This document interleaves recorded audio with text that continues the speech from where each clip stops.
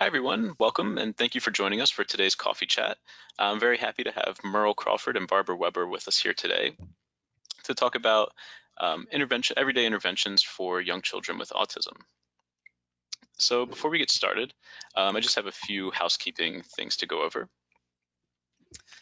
Um, on your screen, you'll see some webinar tips um, just to help improve your viewing experience today. So if you have any applications that are open, uh, such as email or other internet browsers, um, if you close those, that can help um, allow for some more bandwidth for your viewing of today's webinar. If you have any questions throughout the webinar, there's a questions tab in your webinar panel, and you can type those questions in, and then towards the end of the webinar, we'll be taking those um, and then if you'd like to minimize your webinar panel, there's a little orange arrow at the top of the panel. You can click that and that'll um, get, get rid of the panel. And then if you click that again, it'll expand the panel so you can enter any questions that you have.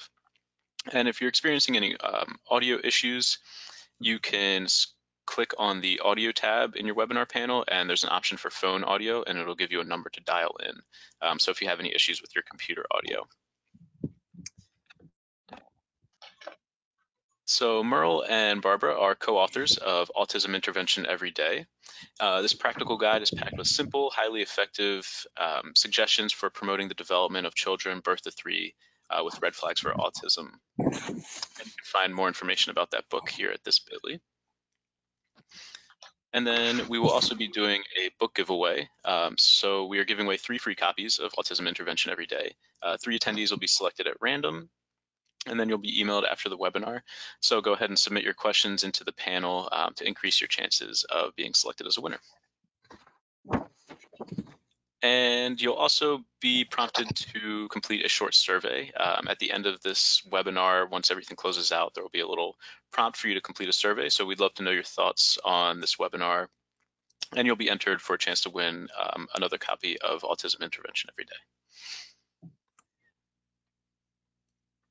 And last but not least, um, everyone in attendance today will be receiving a certificate.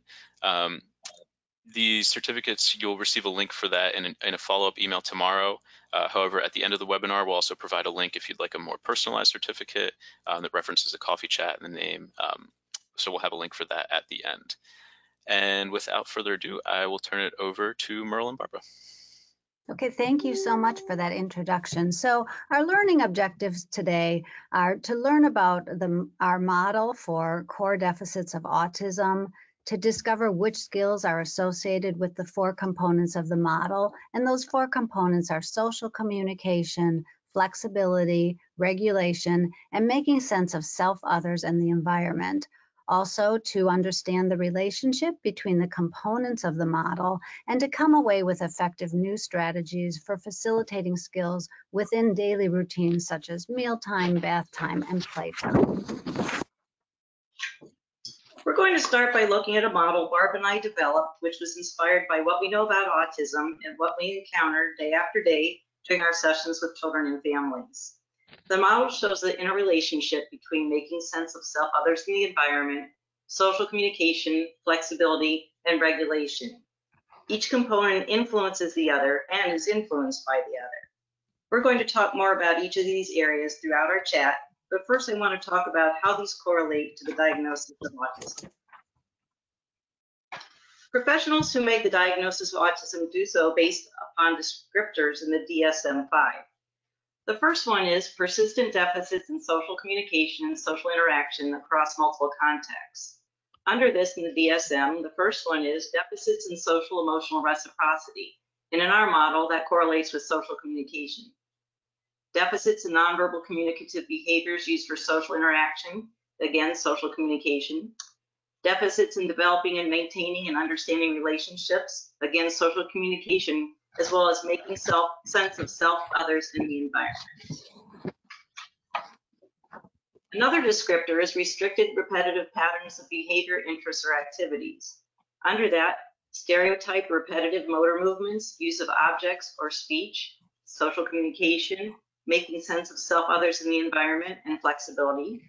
Insistence on sameness, inflexible adherence to routines or ritualized patterns of verbal or nonverbal behavior, flexibility highly restricted fixated interests that are abnormal in intensity or focus, flexibility, social communication, making sense of self, others, and the environment, and hypo or hyper reactivity to sensory input or unusual interest in sensory aspects of the environment.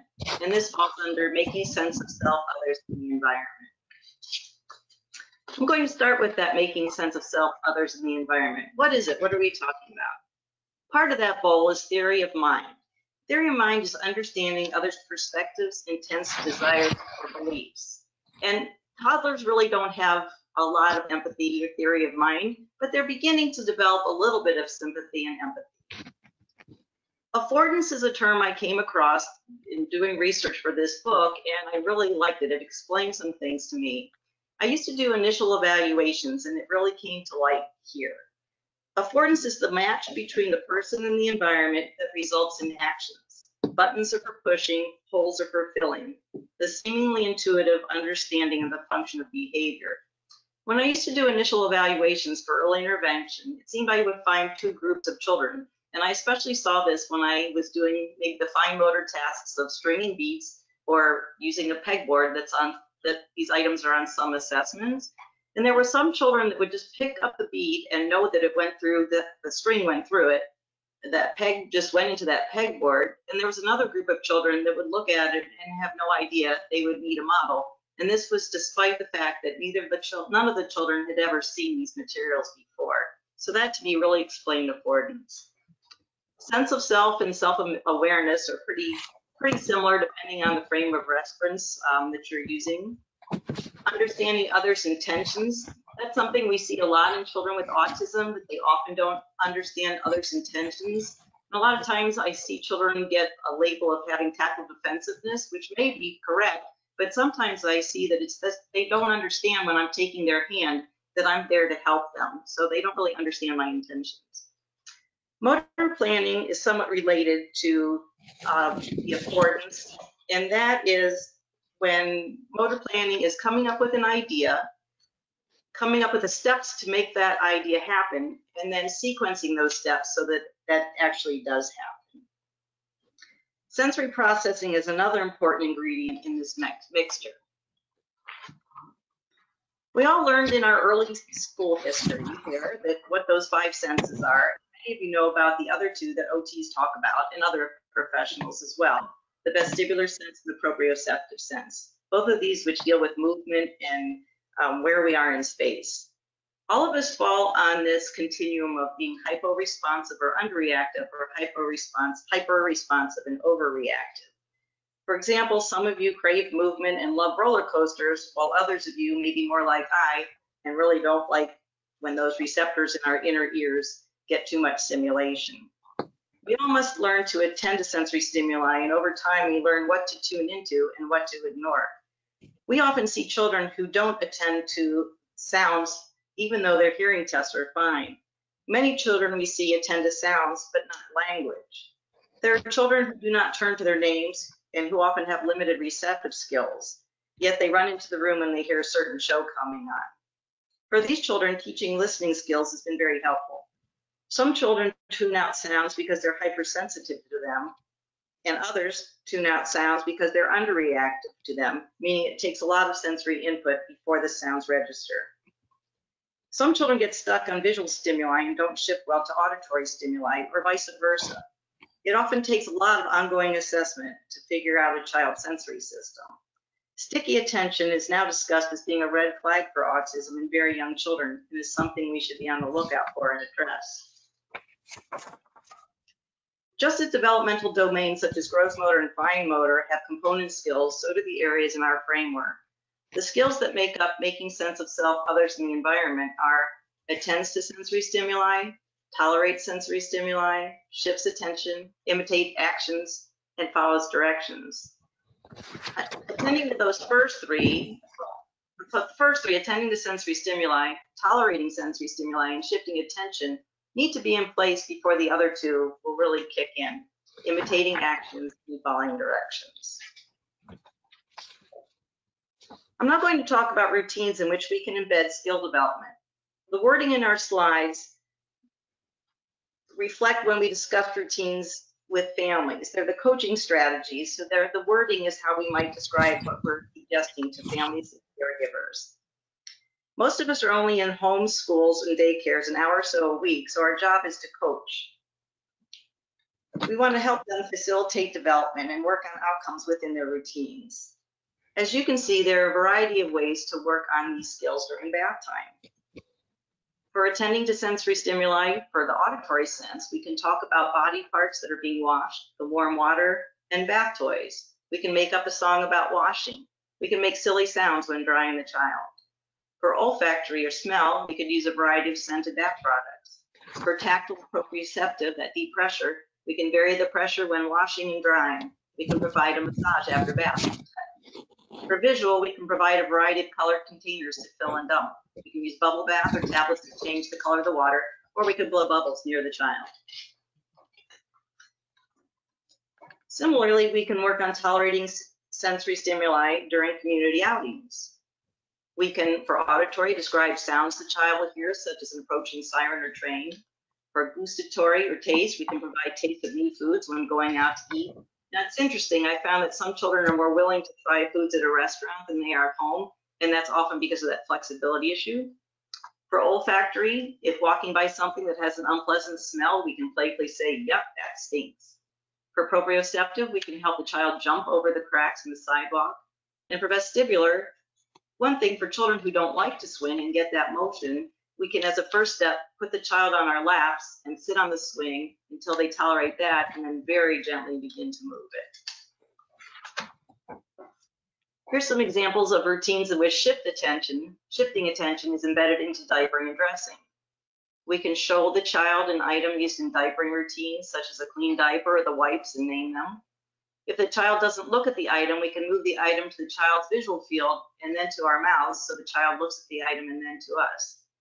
When putting the child's socks and shoes on, we can hold out the article of clothing and wait for the child to extend his or her foot. If the child does not do so, we can tap on his or her foot. We can help the child shift attention to our voices by being playful and building anticipation, such as by saying, I'm going to kiss your nose. It's amazing that pause in the middle works really, really well because a child will hear the person stop speaking and say, hmm, they stop and often shift the eyes. Here we have an example of a routine in which imitates actions is embedded. At bedtime, it's a really nice time to work on blowing kisses, hugging stuffed animals, or holding, folding hands for prayers for imitation. Example routine in which following directions is embedded. How about book time? We can give a direction such as get the bunny book. During the actual book reading, we can say turn the page. We can say go put the book away. And I really like to do some direction following with the pictures. Touch the apple. I like to do this using books that have a lot of the same picture on multiple pages, such as the spot books. It's really nice to try to figure out how to get a lot of repetition in in a short amount of time so that the child feels it's just a natural part of the routine and it doesn't look as boring. But in a book with spot on each page or an apple on each page, this is much easier to do and much better tolerated for the child. Barb's So now I'm going to, Go ahead. sorry, I said Barb's now going to talk about another component of our model, flexibility. Thank you, Merle. Flexibility is another area, uh, another area on our diagram. It's the ability to adapt to changes and make adjustments in the way we respond. Flexibility is a component in so much of what we do. Infants and toddlers must learn to adapt to variability, not only in their sensory environment, such as with movement and temperature and lighting, but also to variations in routines and the different ways that caregivers interact throughout the day. So here's some examples of routines in which flexibility is embedded. So making changes to the routine is important um, to practice that flexibility. So for example, change the route when walking around the neighborhood when you're out in the community and vary by walking or riding in a stroller or a wagon. Something you can do in the car is to vary the song sung or the videos watched. When in the grocery store, you can vary who push who pushes the cart um, or what type of cart is used in the store. One family that I went to the store with wanted help in changing who pushed the cart or who was allowed to push the cart. So when both mom and dad went to, to the store with the child, the child wanted only mom to push the cart. And we were able to change that by beginning with dad counting one, two, three, and mom lifted her hands and dad gave the cart a playful push. And over time, the child accepted dad's push for longer and longer periods of time. And he was eventually able to allow either parent to push him. Let's talk now about building skills that support social communication. And, and these are early developing skills. We've listed a, a, some of the important skills, and the next slides will illustrate a few examples of how to incorporate these skills into daily routines. So those skills are to look into others' eyes, to imitate gestures, sounds, and words, to use gestures for a variety of functions, to use words for a variety of functions, and to participate in multiple exchanges with gestures and or words. So here's an example of, of routines in which looking into others' eyes is embedded. So bath time, dressing, and diapering are often good routines for looking into each other's eyes because the child has a typical position in these routines. So for example, laying on one's back for a diaper change, or in a tub, or um, you know, or standing or sitting to be dressed that can facilitate looking into each other's eyes. So some ideas to try is to play peekaboo with a towel or a clean diaper or the child's clothing. Um, use predictable language uh, that repeats and sensory social games like tickle are wonderful to incorporate into these routines. When dressing the child, you can position him or her so she can easily see your face. I worked with one parent who would dress the child with his back to her. So he would lean against her while she was dressing him. And just by turning him around toward her, we were able to change the routine by eh, him increasing looking at her so much more. Imitating gestures, sounds, and words is another important skill. And here we're talking, we're going to talk about that next, but here's a chart of gestures across different functions. So we can use gestures to protest, we can use them to request, and we can use them for social interaction. Roughly on this chart, they go from the earliest developing, which are on the top, to the later developing skills, which are on the bottom. And gestures are really important to work on. They're the foundation for early communication and they set the stage for how the child will learn to use his or her body to convey communication messages. Later, those gestures are often accompanied by sounds, which then sets the stage for development of words. So here are some examples in which imitates gestures, sounds, and words are embedded. Um, many children like to help clean, so a great way to get imitation of gestures, sounds, and words may be in, in chores. So in household activities, you could have the child help wipe the high chair tray and you know provide a cloth for the child as well as you wipe and say wipe wipe wipe or watering the garden model the sound of the water running as you water and then hand the child the hose Caregivers will not always want to incorporate children into household activities. Sometimes the activity will take too long or the child might make a mess, but when the time is right, household activities can be a routine to use for skill development some examples of a routine in which um, gestures uh, for a variety of functions is embedded. Um, for during playtime, you could place some desired toys out of reach to encourage reaching or pointing to request. Um, you could also embed gestures into pretend play, such as those to represent sleeping or eating or drinking. Some examples of routines in which using words for a variety of functions is embedded um, include uh, grooming and hygiene. So for example, when brushing the child's hair or teeth, you could sing a song and pause for the child to fill in the words such as this is the way we brush your teeth and ask or brush your hair. And you can ask now what? Once the child knows what comes next in the sequence, what do we need or now what? Um, in addition to the examples here, we can also model exclamations like uh-oh and comments Um, I often use the same word that a child will use to request. So for example, if they say cookie, then I will use that word as a comment um, while the child is eating the cookie, saying, oh, cookie, you have a cookie, yum, cookie. So the, the child used the word to request, and then I'm modeling the word as a comment. Um, keeping in mind the suggestion for a variety of communication functions will help us help parents whose children are sometimes overgeneralizing some signs like for example, more and please are typically overgeneralized. And while at first the child uses the sign for more please and it's very fulfilling, those general signs may quickly become a challenge because the child's overuse of them um, prevents the lack of practice of other more specific vocabulary words.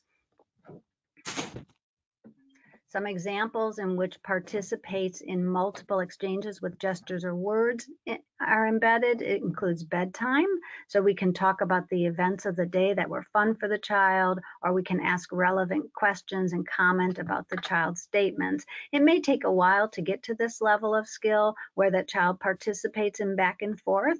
Um, as we know, some children with ASD may not be verbal, so we might augment communication with signs or picture exchange or other low or high tech augmentative and alternative communication strategies.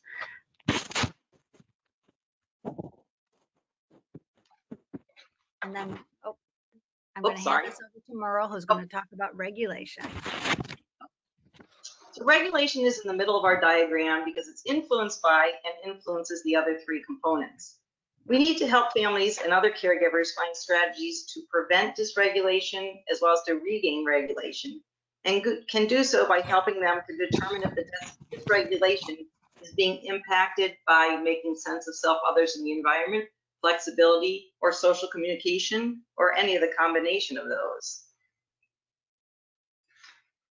Let's consider a child who's dysregulated during mealtime and maybe think about what could be occurring. This, the dysregulation could be due to challenges in making sense of self, others, and the environment. Maybe the child may, doesn't recognize thirst or hunger, or may not like the feel of the bib or the straps in the high chair, of the, on the high chair.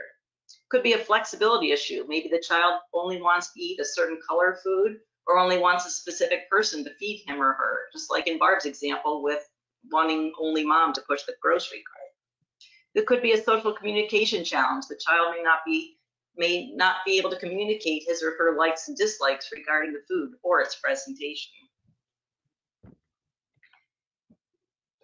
I'm gonna go back a second here. Um, looking at this sort of brings up a, a similar concept.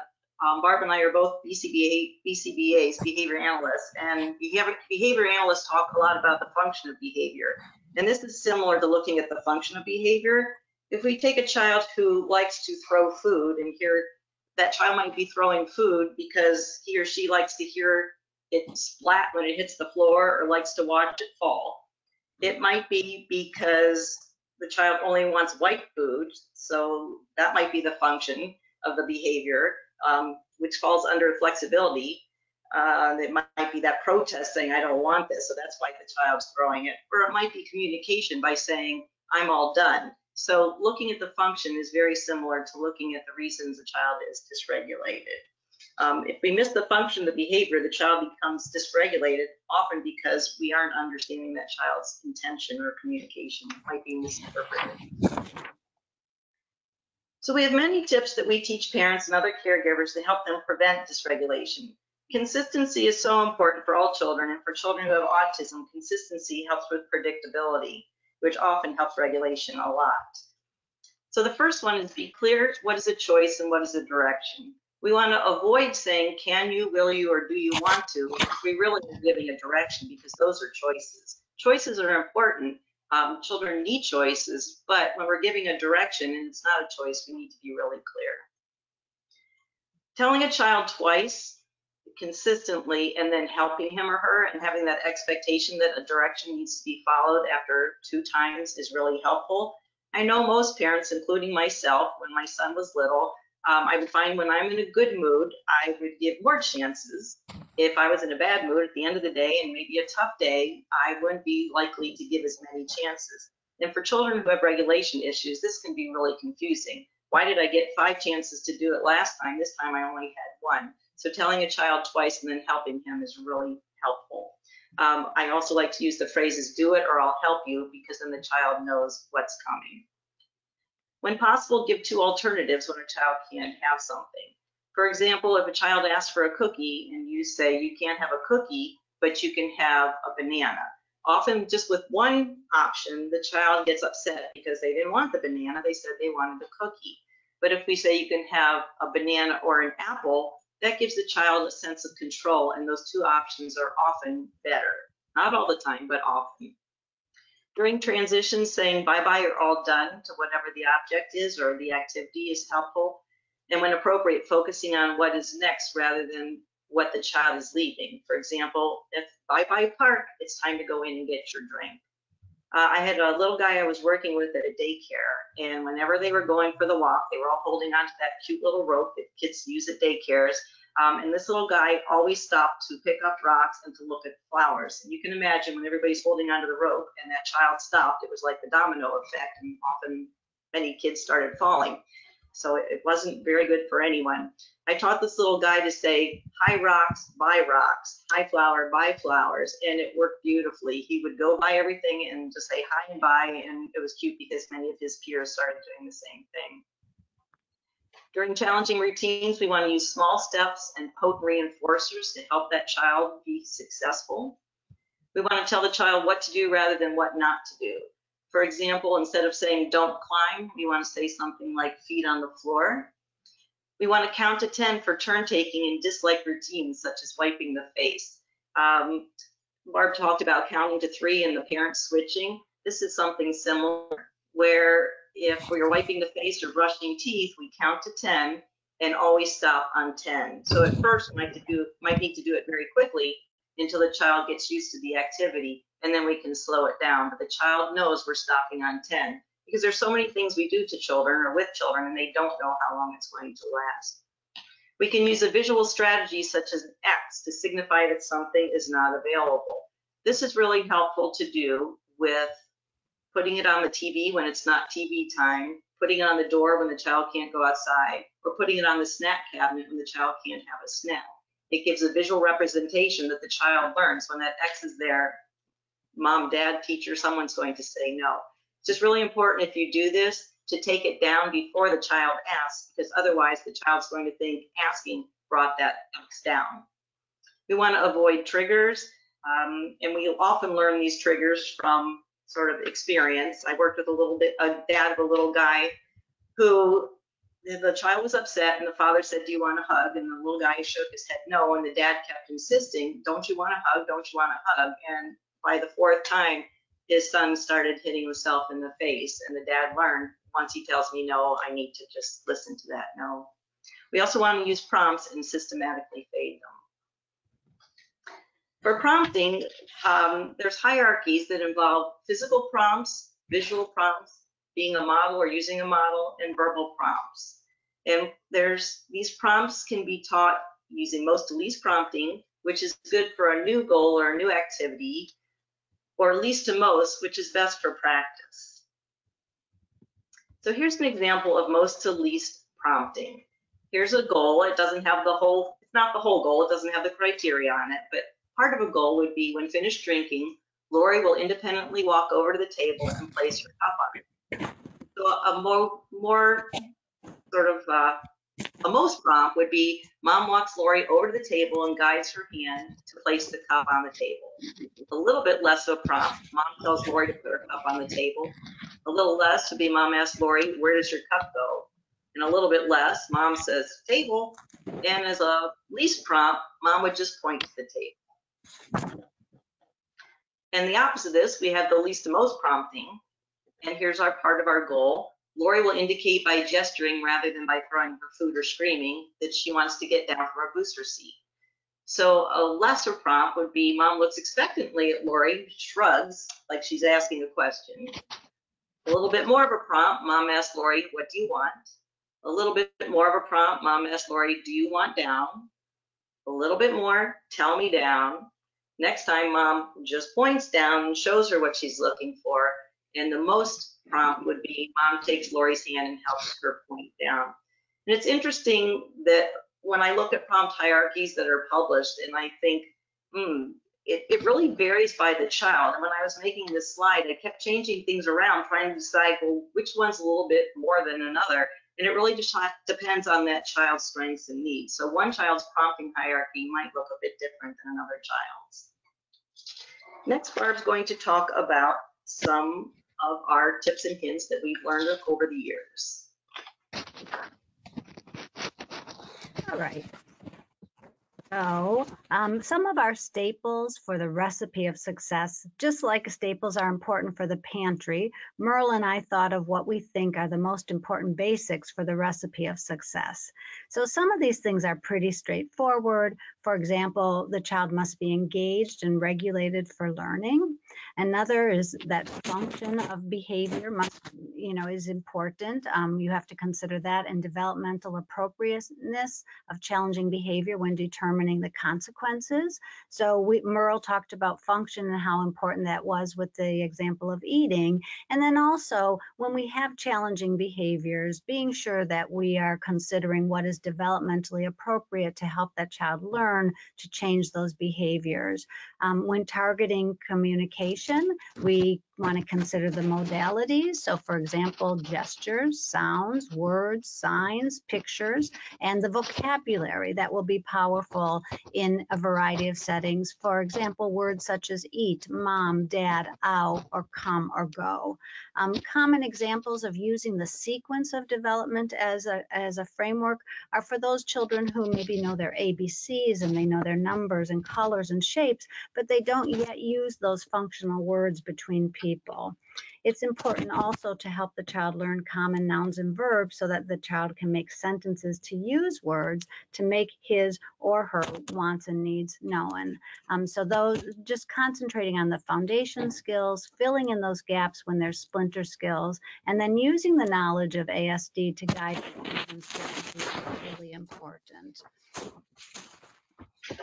it can be difficult to access routines during our visits, but it's so powerful to do so. So embedding learning in multiple routines across the day um, and considering what is functional and practical is really important. Sometimes if you can't get to those routines during your session, talking to the parents or caregivers about making a plan might be really valuable. Collaboration with all team members is critical to ensure that everyone is on the same page as much as possible. And that's your EI team members, um, you know, other staff, medical providers, teachers, etc.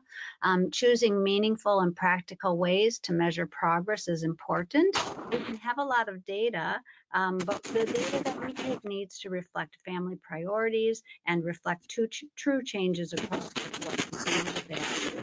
And of course, generalization, as Merle talked about, is so important. We want to vary the people, the setting, and the materials, the words, and the prompts that you are using, always cognizant of fading them. And I believe now we are going to open up for questions. All right, excellent.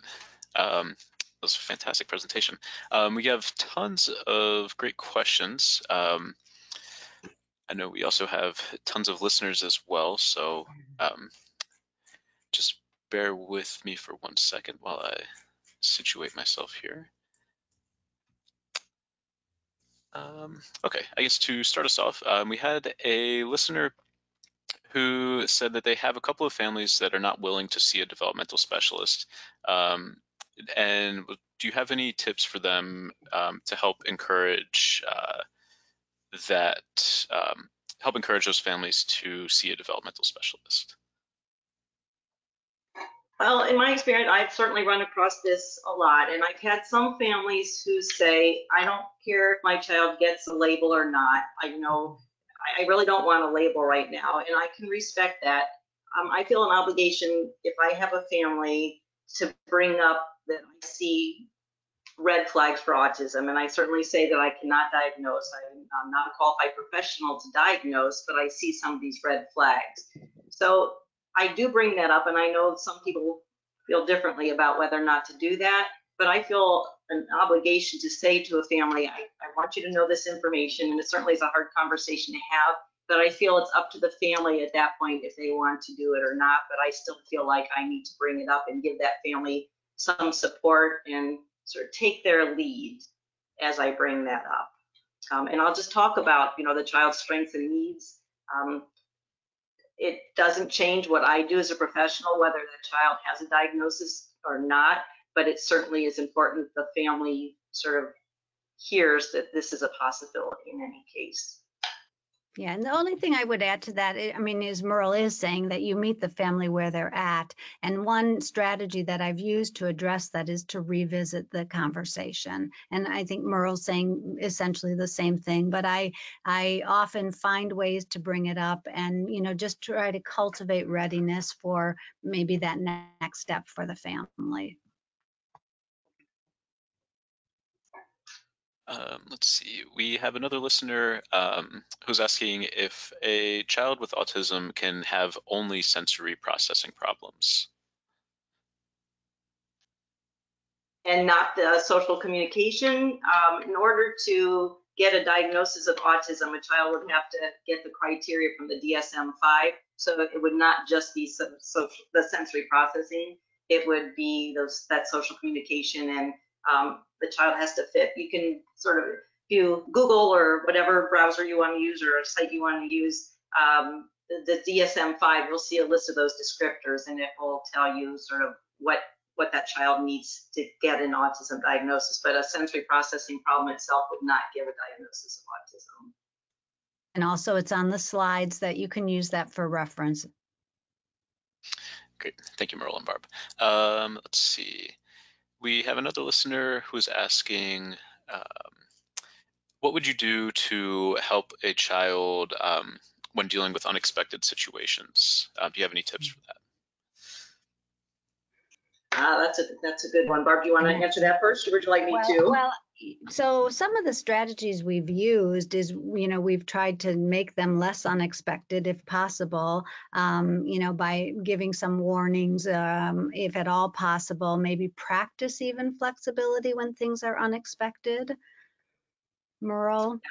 Yes, I, what came to my mind as you were saying that was sometimes like if I were building with blocks with a child where I would accidentally knock it over on purpose and like, uh-oh, and sort of real playfully sabotage, and some people don't like that word, but just really playfully work on that flexibility and that unpredictability and using a sense of humor. I find that a lot of times children pick up on our facial expressions and our emotions, and if we think it's really funny, like I would build a a tower of blocks and I accidentally knock my own over first and then I can show like, oh man, and uh, using that phrase, oh man, when things that are unexpected happen was really helpful in many, many cases for me. And I would actually teach the children to say, oh man, or some other expression when something unexpected happens. Great. Um, let's see. Um, do you have any tips or suggestions for embedding these routines when a child doesn't yet have joint attention? Uh, yeah, I, I mean, uh, one of the things I would say is that that it, within routines, that's some strategies I would focus on immediately would be working on that joint attention and waiting for the attention shift and getting the eye contact. One way that Merle and I have a lot of success with is is doing people games, so back and forth tickle games, chasing games, um, you know, uh, uh, playfully rocking a child on on your legs or things like that can be really effective. So those are routines too, where we have predictable routines that really help the children start to look. And I think if you go back to that communication chart, just having the child use his or her body to tell you more rather than using that sign for more that Barbara talked about that we don't want to encourage too much. So the child likes to swing, we swing the child and then we stop and we watch and watch for that child to just bounce a little bit. And that beginning communication of I want more of that game, those sensory games that Barbara was talking about, peekaboo, um, just setting up those situations in any routine, um, doing that pausing, how can we make that routine fun? And what Merle's saying with that pause, that's often once the routine is predictable, then when you pause and stop, that child will also shift their gaze to you. So when the question was about joint attention, and that's very helpful there. Let's see. um, we have another listener. Uh, we've had a few listeners um, actually asking about eye contact, um, but I think uh, this listener's question kind of encapsulates all of them. So the, uh, this listener has heard that eye contact is important, but they've also heard that it's not essential. Uh, they're wondering if you have uh, an opinion or um, you know some some insight that you can provide on uh, that. Yeah, well, I, I, think a lot of the literature talking about joint and shared attention, they're showing that there's an influence on outcomes. And so the greater that the skill is, um, the more favorable the outcome. So I, I, think we have enough literature to safely say that it's a really important skill and to continue to try to develop it. and I think you... too, um, in, in the past, a lot of people would work on eye contact by saying, look at me which really encourages following directions, but not necessarily a desire to have eye contact. So we do a lot of using eye contact as a request. So again, sort of my example of swinging, I'll swing the child, I stop, that child's gonna look like, hey, why did you stop? As soon as that child looks at me, I'm going to start swinging again.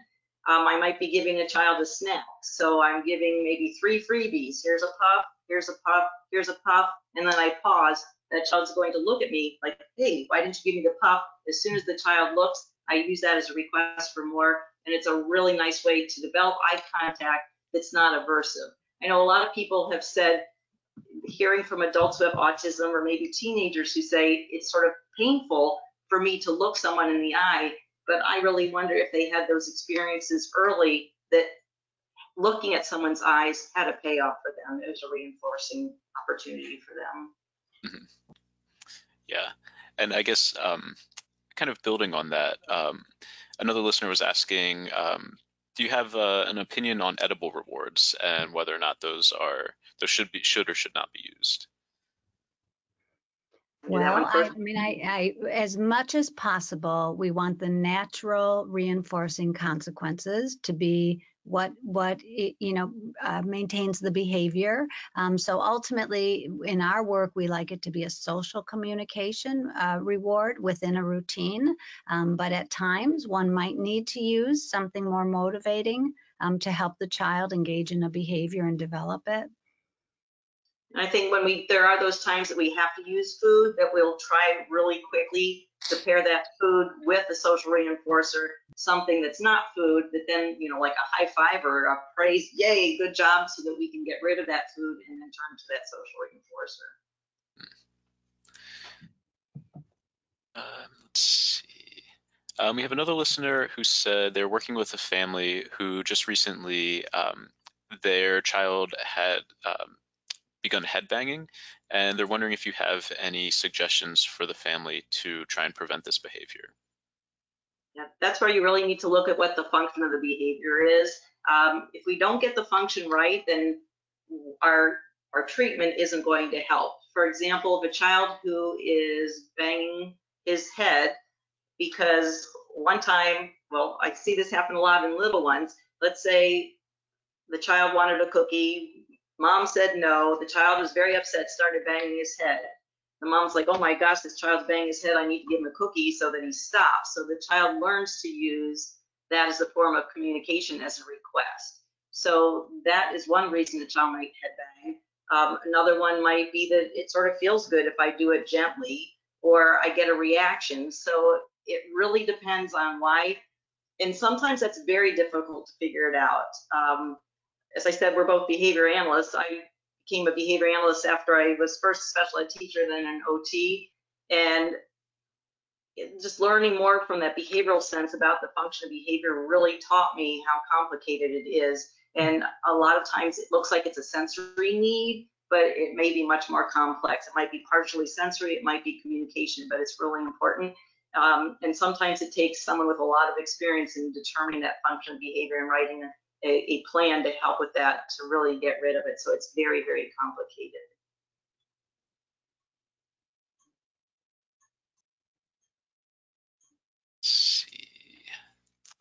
Um, do you have any recommendations for sharing these types of tips uh, with a family who does not speak English as their first language? Yeah, I Um, mean, is there an availability of an interpreter? Um, that would be one question. Um, some tips and hints are, can be found in other languages.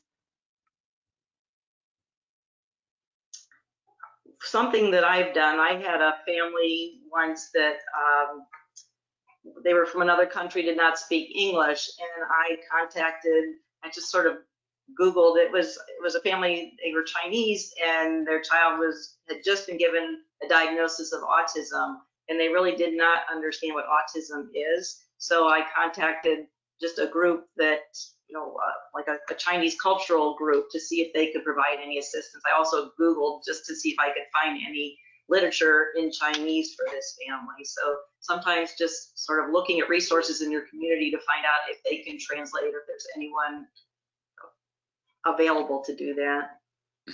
Yeah, Yeah, it might take a, a coordination of multiple parties to Yeah. to assist. Yeah. Um, we have a few listeners that are asking um, about separation um, and how, if you have any strategies for children who are putting up a fight when their parents are either leaving the room or leaving the house. Um, Yeah. Something that I've done is to have that parent just hide for two seconds and come back in and make it really playful, playing peekaboo just around the corner. And then as the child gets used to that, just really progressively increasing that amount of time so that it, that child knows that parent's coming back. I also learned my first early intervention job long, long ago, a social worker taught me that it's really not a great idea for parents to sneak out because then that child never knows when that child's going to leave. So that person taught me to, even though the child might cry, to say, I'm going to leave now, but I'll be back. So the child knows that that child is going to come back. And again, to do it in progressively longer times. Mhm. Um, we also have several listeners who are um, referencing the uh, the current pandemic and how it's affected early intervention services and how there's been a big shift to telehealth. Um, and so, I guess, do you have any suggestions or tips for conducting or switching from in-person services to telehealth? And do you know of any particular difficulties that this may present um, for children with autism? Yeah, I mean, I think the, the challenges are, are definitely there in that some families learn best by demonstration.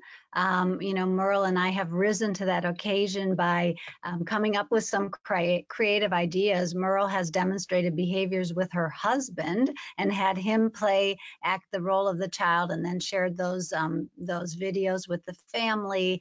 Um, I have, you know, tried to tape um, little demonstrations uh, or on my own um, to share with families. I think the demonstration part is what's so challenging um, because it, it's one thing to talk about it with words, but to actually show families how to do different things um, is is probably one of the bigger challenges.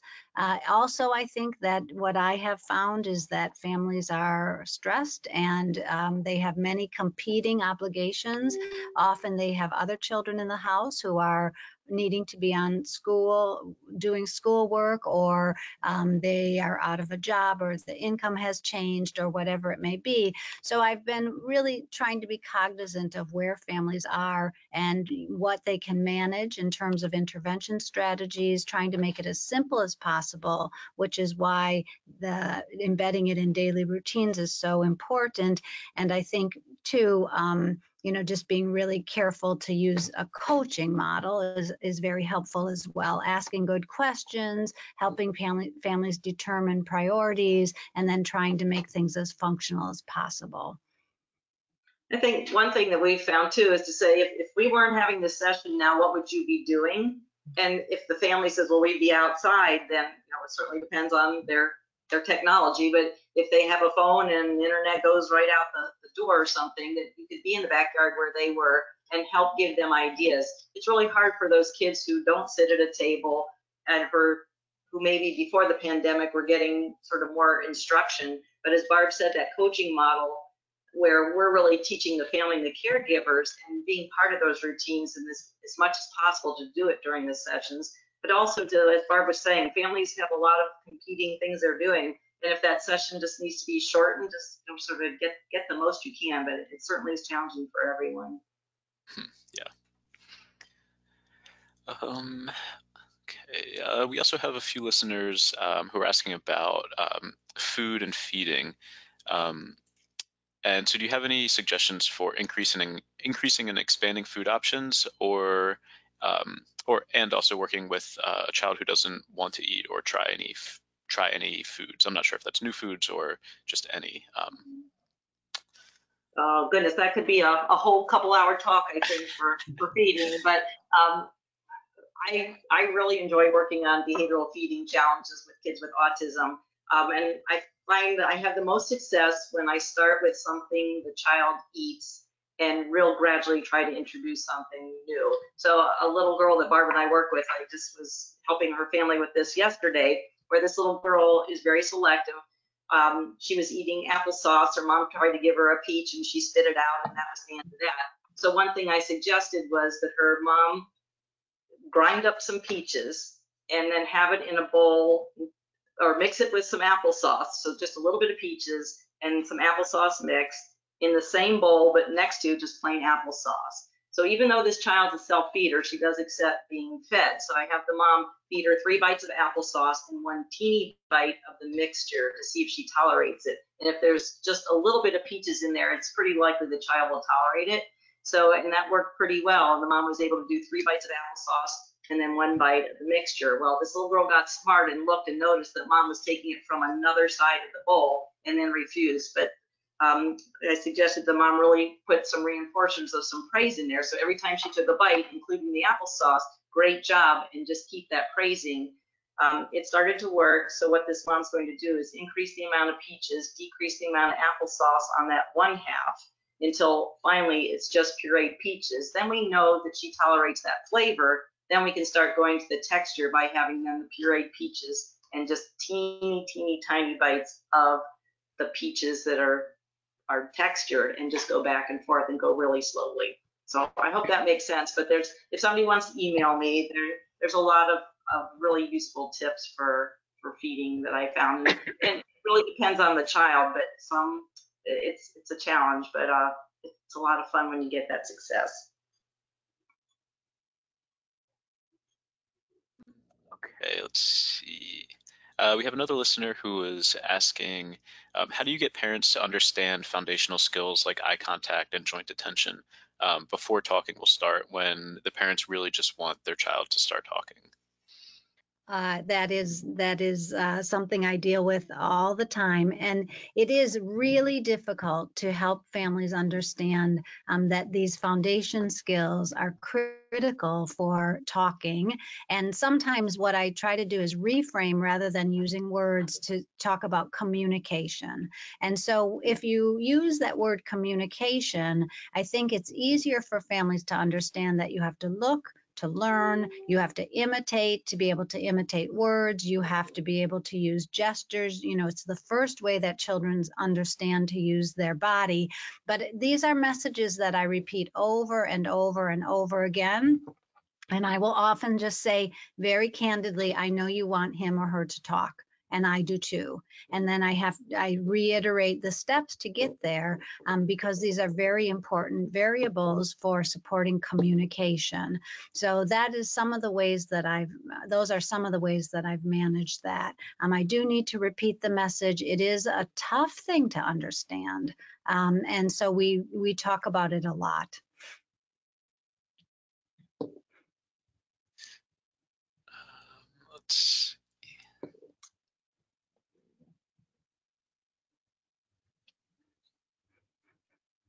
going through, we have quite a few questions that have come in. um, um, we had a listener who was saying, how can they um, encourage families to keep routines at home? Um, I lost the point, but I think that was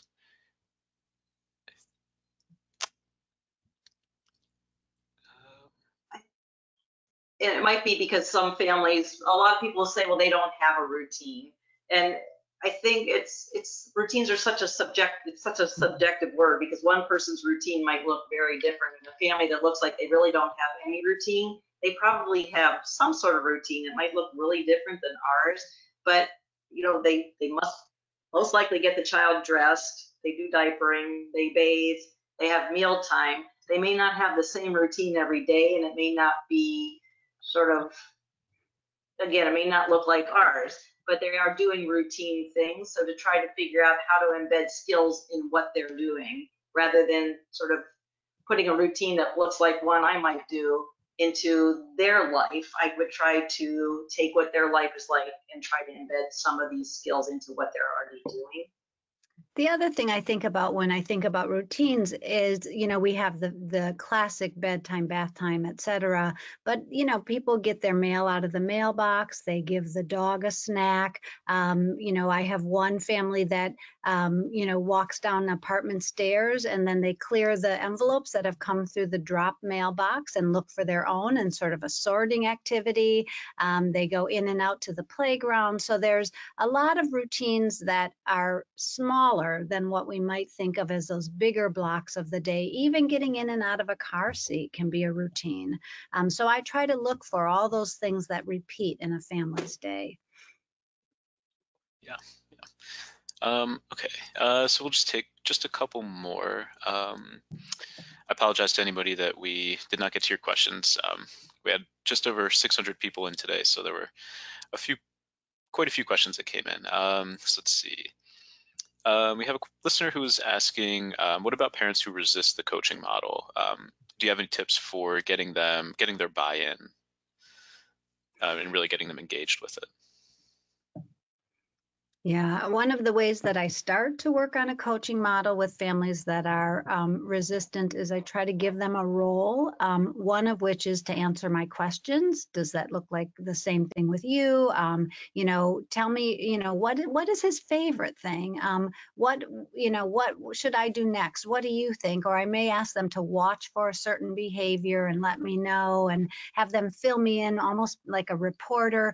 And very often that more um, you know, information gatherer role can be a really good way to start the coaching model um, and then start to, you know, work on smaller ways to get the parents involved, such as, you know, I'm going to show you, and then just for a second, you, I'll ask you to try it. Let's see how it goes with you. So just those very small ways to help um, develop that coaching relationship. Um, but first, uh, having the families give me information can be very helpful. I know, Barb, something you do a lot too is to ask the parents, can you help me with this? And mm-hmm. something we've sort of done for families where they might be on the couch, maybe texting or just sort of not really engaged in the session, besides not even wanting to be coached, it's just hard to engage them, is to maybe have the child, oh, go show that to mommy, go show that to daddy. Oh, and sort of have the child approach the family um, if a child's not following directions, that makes it a little bit tougher. But I think that mm-hmm. what I learned from Barb is having that parent help me um, again over sort of using technology and doing virtual sessions. That's a little bit tougher, but in a way that's easier to get that coaching role um, because we can talk to the parent that if they know that session is for them and that child may not even be sitting there. But when we're actually in the home, just using that that family, as Barb said, as sort of a helper. Mm-hmm. Yeah. Okay, um, I think we can take two more and then um, and then we can wrap up here. Um, so we have a listener who says they have a kid, they have a kiddo who's talking and naming about 20 to 25 flashcards, um, imitating words, but not yet using verbal language socially. Um, so she's not communicating with an adult, and she, but she will talk to the um, she will talk, just not with not to another individual. Um, so, do you have any strategies to help uh, improve the communicative exchange with others?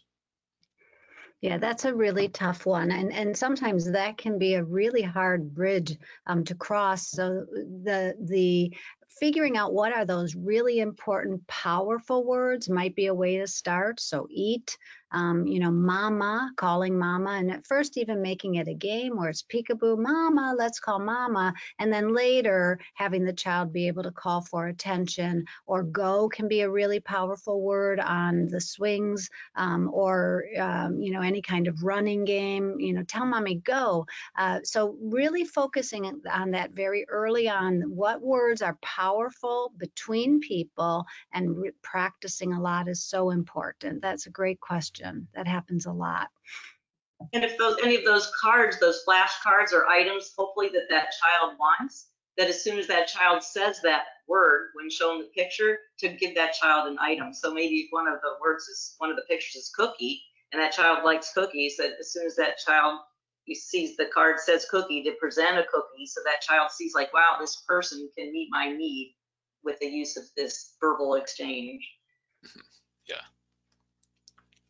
Um, okay, and we'll take one more question. Um, so this listener is asking, how do you have any ideas for how teachers can be supported by leadership um, when they do not have any direct experience with autism? Meaning the teacher doesn't have experience or the leadership does? Um, not 100% clear. Um, I'm going to go on a limb and say the leadership does not have experience. Okay. Um, I think educating the leadership probably about what autism is is best as possible, which I know can be sort of sticky. That's the only thing that came to my mind. How about yours, Barb? No, I think that's important. And, and even um, if the provider is, is dealing with the leadership, possibly offering something very casual like a lunch and learn or some handouts that might be available or even websites, um, maybe even presenting the case as what's functionally happening. So Johnny in this classroom is having this difficulty and presenting to the leadership, you know, here's some education around this and maybe problem solving that particular issue would tap into into that leadership training functionally for something that's happening right then and there and perhaps motivate them to learn more. Ah, okay. Um, I did just get an update from that listener and they, I took the wrong limb. They were referring to the, if the teacher doesn't have experience with uh, autism. Yeah. Yeah, um, I think it is so hard, for example, for uh, maybe a regular ed teacher who has a child with autism in his or her class and has not had any experience or support. So I think going to for the leadership to sort of find I imagine that teacher is probably frustrated and asking, what can we do to support you? I know this is new for you. What would be helpful? And if the person doesn't really know that they need help, um, that can be challenging, but maybe just educating, saying, oh, you might find, I found this resource, maybe this would be helpful for you. Mm -hmm. Yeah. Yeah. Yeah, Merle often asks directly, what can I do to help you? And I think sometimes we might offer visual supports or other kinds of supports, but just saying literally, what can I do to help you? Um, maybe helps the teacher identify um, what it is that is a particular problem in the classroom. That can sometimes be a better solution in, in, in the sense of it would address directly what the issues are each day. Yeah. Okay. Um, all right, so I know there were a few questions we didn't get to, um, but we can follow up with those listeners afterwards. Um, so thank you everyone for submitting those questions. Um, so I think I just have a few more things to cover. Um, and I know I did get a bunch of questions asking about the slide handouts. Um, you will receive a follow-up email tomorrow uh, that will have a link to download the slide handouts from today's presentation.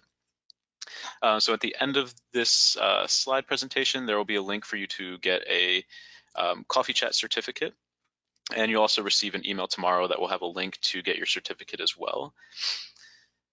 Um, and again, just a reminder, at the end of this presentation, you'll be prompted to complete a short survey. Um, we'd love if you could complete that and just let us know what you thought of the presentation today. And you'll also be entered to win a free book um, of Barbara Merle's uh, Autism Intervention Every Day. And uh, if you are interested in purchasing any other products from Brookes Publishing, we are offering a 20% discount um, using the code CoffeeChat. And you can just enter that uh, discount code in when you're checking out, and you can get 20% off of most products from Brookes Publishing. And if you are looking for additional professional development opportunities, we have tons of coffee chats um, that have already been completed, and we also have plenty more upcoming. Um, so you can watch all of those recordings and see our upcoming lineup um, at this URL here. It's bit.ly forward slash Brookes Coffee Chats. And we also have even more resources. Um, if you are looking for any uh, additional resources to help you during the um, COVID-19 pandemic, um, I know a lot of, as we're all learning, things are very quickly shifted to virtual and um, telecommunications. So we've tried to put together a list of resources to help um, all sorts of educators, including recommended readings, downloadable resources, and professional development webinars and those can all be found at that URL there. Oh, thank you, thank you, Merle. And this is your um, URL to get your certificate. Um, again, you also receive a link in the follow-up email tomorrow that will be sent out, um, but you can just go to this link here and you can access your certificate. Um, but then if you if you um, don't go there, you'll just get a reminder in your email tomorrow. Um, so I think with that, we'll wrap everything up. Um, I'd like to say a huge thank you to uh, Merle and Barbara for a fantastic presentation. Um, and thank you to everyone that attended, um, asking excellent questions. Um, so thank you, everyone. Thank you very much. Thank you. Everybody stay safe. Mm. Bye. Bye.